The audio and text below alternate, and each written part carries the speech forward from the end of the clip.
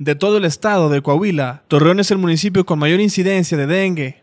Tan solo en este mes de octubre, la Secretaría de Salud de la entidad reportó que este municipio pasó de 8 a 13 pacientes afectados por este padecimiento que se transmite a través de la picadura del mosquito Aedes aegypti. De esta cifra, se contabilizan 4 casos por dengue hemorrágico, en todo Coahuila se tiene una estadística de un total de 21 casos de dengue, los cuales se distribuyen de la siguiente manera. Torreón con 13, Matamoros con 3, 1 importado, San Pedro con 2, Acuña igualmente con 2 y el municipio de Ocampo con 1.